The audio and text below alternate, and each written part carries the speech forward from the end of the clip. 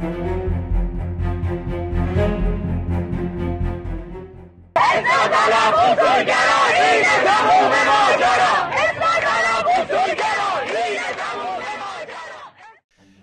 موسوم به اصلاح طلب که در حال حاضر خامنه آنها را از گردونه قدرت حذف کرده از چند باند مختلف تشکیل شده که به ترتیب اهمیت عبارتند از مجمع روحانیون مبارز این باند انشعابی از جامعه روحانیت مبارز است که آخوند مهدی کروبی مؤسس آن بوده و رئیس کنونی آن آخوند محمد خاتمی و دبیرکل آن موسوی خوئینی ها دادستان کل کشور در زمان قتل عام زندانیان سیاسی است این باند ستون فقرات جریان موسوم به اصلاح طلبی را تشکیل می دهد.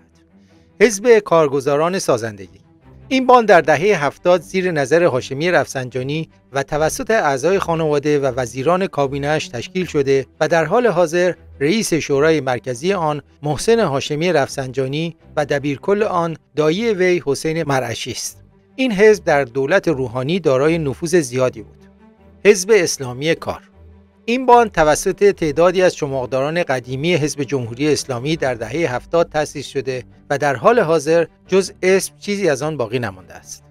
مجمع نیروهای خط امام این باند توسط هادی خامنه ای تأسیس شده و انشعابی از مجمع روحانیون مبارز است که اکثر اعضای آن از نمایندگان سابق مجلس و ریزشی های ارگان های مختلف رژیم هستند. حزب اعتماد ملی این باند در سال 1384 توسط مهدی کروبی تأسیس شده و گرداننده آن در حال حاضر یک پاسدار ریزشی به نام الیاس حضرتی است. اعضای این باند اکثرا از نمایندگان سابق مجلس و چماقداران حزب جمهوری در دهه 60 هستند.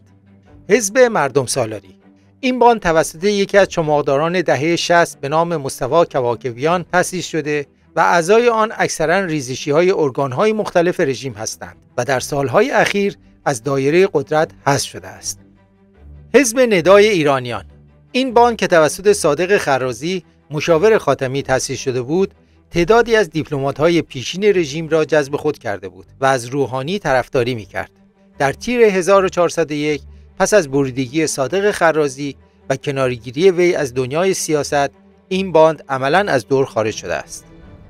حزب اتحاد ملت ایران این باند توسط تعدادی از دانشجویان چماقدار عضو دفتر تحکیم وحدت تشکیل شده که در دهه 60 و 70 نقش فعالی در سرکوب دانشجویان در دانشگاه ها داشتند. رئیس اسمی آن محمد خاتمی و گرداننده آن علی شکوری راد و پس از وی آذر منصوری است. حزب همبستگی ایران اسلامی این باند توسط عده‌ای از نمایندگان مجلس رژیم در دهه 70 تشکیل شده بود و با افول خاتمی این باند هم متلاشی شد و در حال حاضر بیشتر کاربرد تبلیغاتی دارد. انجمن اسلامی معلمان ایران این باند که پایه‌گذارش محمد علی رجایی رئیس جمهور خمینی بعد از برکناری بنی سعد بوده در حال حاضر فقط اسمی از آن باقی مانده و فقط در موسم انتخابات مطرح می شود. انجمن اسلامی جامعه پزشکی ایران. این باند که قبلا توسط برخی وزرای رفسنجانی و محمد خاتمی و دیگر مقام های رژیم تشکیل شده بود در حال حاضر کاربردی در امور سیاسی ندارد. علاوه بر اینها 15 حزب و انجمن و جمعیت دیگر بیهویت و بیشناسنامه هستند که فقط اسمشان در ردیف باندهای اصلاح طلب وجود دارد اما وجود خارجی ندارند. این خلاصه ای از معرفی باندهای اصلاح طلب بود که زمانی در دایره قدرت بودند و در حال حاضر هم تلاش می کنند در صحنه سیاسی ایران ارزندام کنند. در برنامه بعد به ریشه باندها و قطبندی واقعی در صحنه سیاسی ایران خواهیم پرداخت.